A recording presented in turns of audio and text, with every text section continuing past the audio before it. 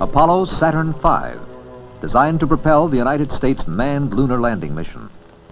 Three million parts from the labor of people at 20,000 companies, universities, and government facilities. A first stage assembled in Louisiana, using parts from Kansas, Missouri, Washington, and many other states. A second stage shipped to the Kennedy Space Center in Florida through the Panama Canal from California, with a stopover in Mississippi for testing. A third stage flown from California to Florida. An instrument unit from Alabama. The spacecraft came from factories in Oklahoma, New York, and California.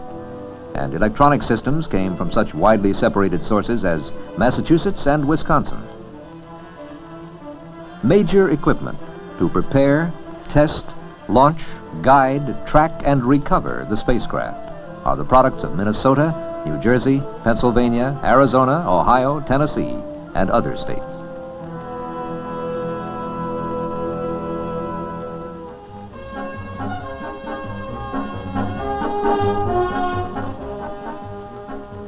The Apollo 4 mission, unmanned, first flight for Apollo Saturn V, was launched into Earth orbit November 9, 1967. The Saturn V and its spacecraft stand as high as a 36-story building, and at liftoff weigh more than a U.S. Navy destroyer. Its Earth orbital payload is 10 tons greater than John Glenn's entire Mercury Atlas space vehicle of 1962. It is moved from its assembly building by a massive crawler transporter over a roadway designed to handle the combined weight of more than 12 million pounds.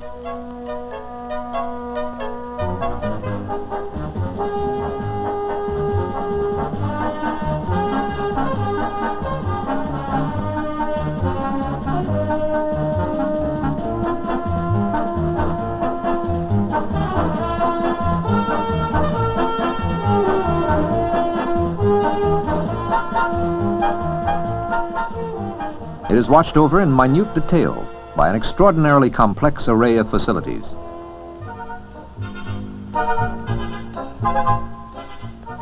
It answers to a chain of electronic eyes and ears that circle the world. And it flies a course dictated by an assembly of advanced computers.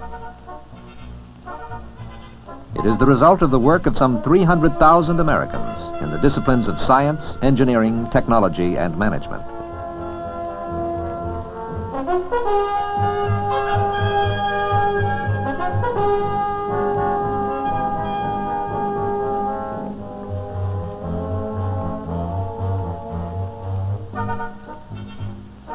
The entire space vehicle was to be launched in the first mission, rather than follow the step-by-step approach of earlier programs.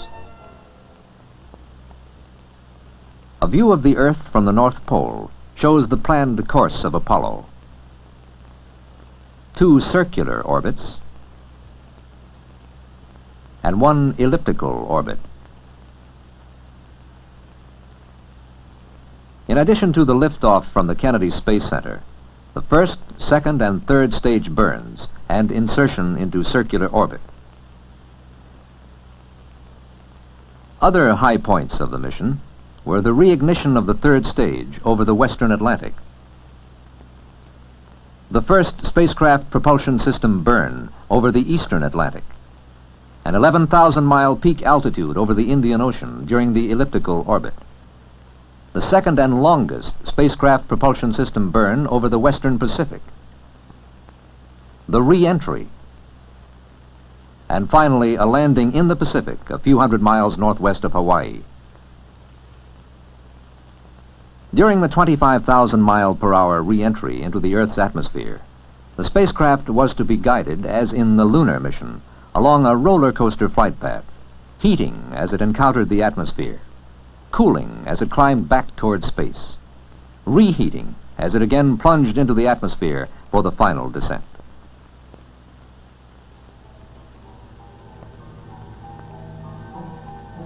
Countdown for the launch started at the Kennedy Space Center at 6 a.m., November 7, 1967, with liftoff scheduled for precisely 49 hours later. Inexorably, launch operations moved forward.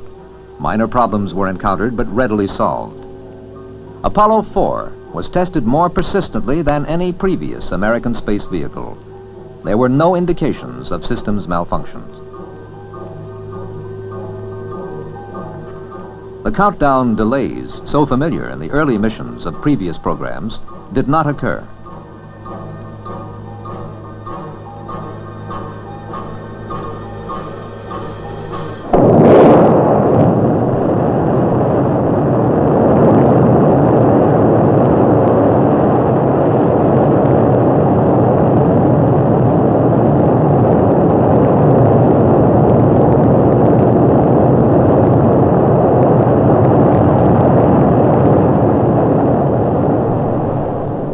Almost exactly as planned, Apollo 4 lifted off at one second after 7 o'clock, November 9th, 1967, with its first stage delivering seven and a half million pounds of thrust.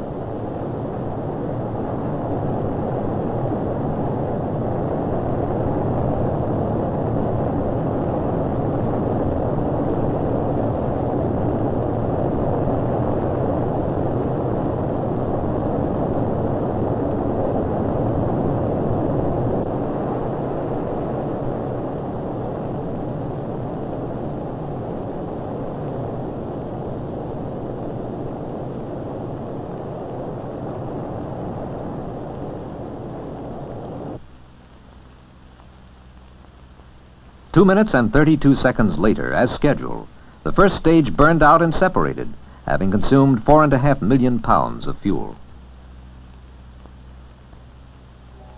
The separation and second stage ignition were also recorded by cameras carried on board the vehicle, 40 miles above the Earth.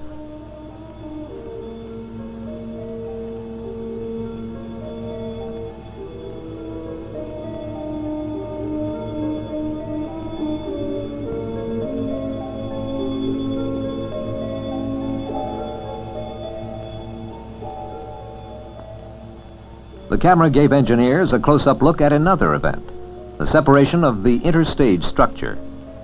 This was critically important because clearances were extremely small between the structure and the engines.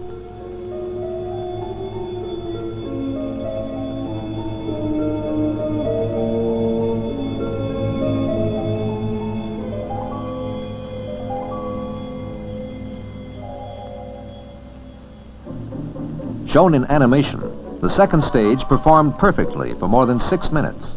A source of major developmental problems, the stage propelled Apollo 4 to an altitude of more than 100 miles.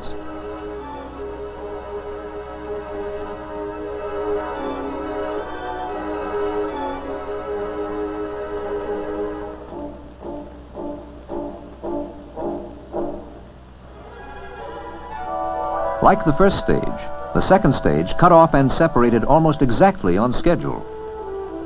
The third stage ignited and inserted Apollo 4 into a circular orbit, where it would remain for some three hours.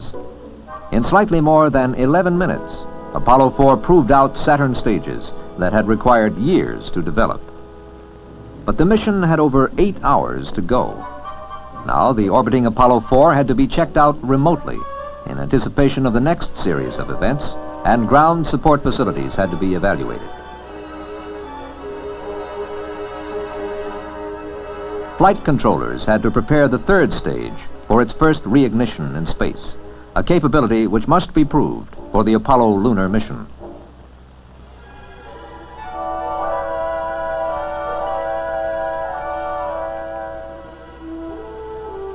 One of the few irregularities of the entire flight occurred at this point when data suggested that a valve on the Saturn V third stage had not closed as planned for the reignition. But technical skill paid off. The flight controllers quickly revised the pre-ignition sequence to compensate for the potential problem.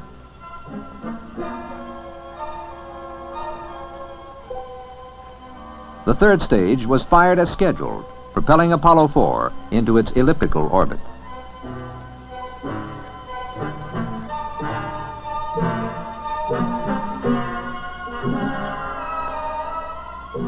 Five minutes and 25 seconds later, the stage shut down. Saturn V, whose guidance computer had made over 300 million calculations since liftoff, had placed the spacecraft on course.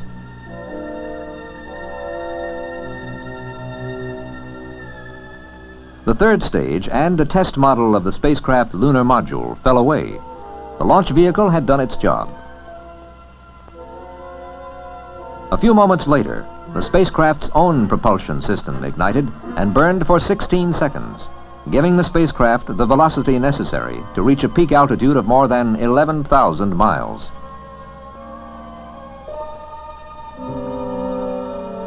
The spacecraft was oriented so that its heat shield was shaded from the sun, soaking in a temperature 150 to 200 degrees below zero.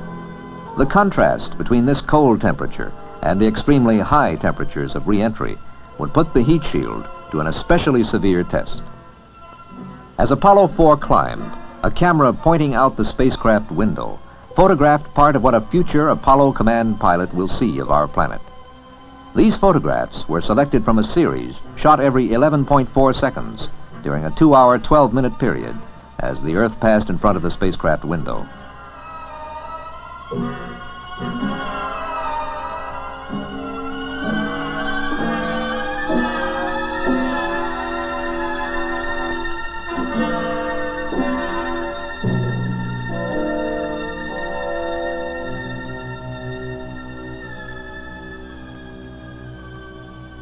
Apollo 4 reached 11,232 miles above the Indian Ocean at 5 hours, 46 minutes, 48 seconds after liftoff and began its descent to Earth, responding to the pull of gravity, increasing in velocity as if it were speeding down a long hill.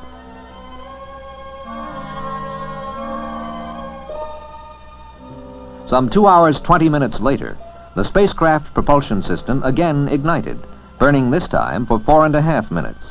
This burn accelerated the spacecraft toward a re-entry into the atmosphere at 25,000 miles per hour, the speed anticipated for the re-entry of the Apollo lunar mission.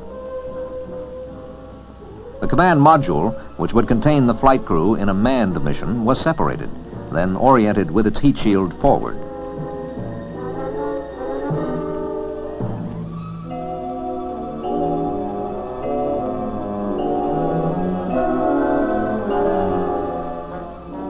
At about 8 hours 40 minutes after liftoff, Apollo 4 re-entered the Earth's atmosphere.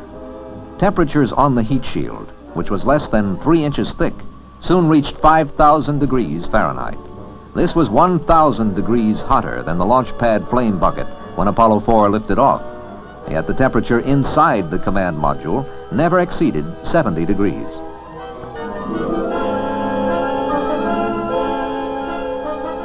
Could we have seen the actual command module on its path toward Earth, it would have resembled a meteorite from space.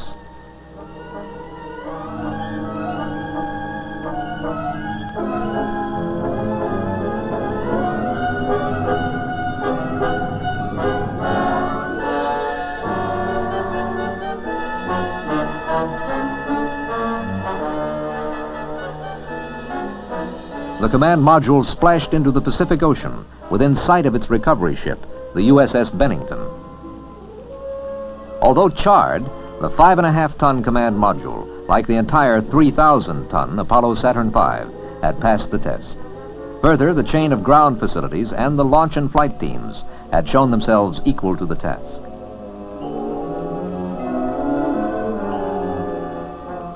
Some eight and a half hours after Apollo 4 roared off the launch pad at the Kennedy Space Center, the mission ended.